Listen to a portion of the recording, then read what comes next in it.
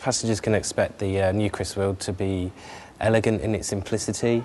intuitive and easy to learn, a multi-screen environment like no other, one that keeps passengers informed and up to date during the course of the flight, hopefully complementing Singapore's famous in-flight service.